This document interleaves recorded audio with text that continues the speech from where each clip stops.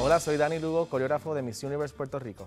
Llevo 20 años de carrera como coreógrafo, trabajando en diferentes eventos como premios Billboards, Latin Grammy, Premios Juventud y en la actualidad trabajo con artistas de renombre como Luis Fonsi, Maluma, Olga Tañón, Wisin y Yandel, Carlos Vive y entre otros.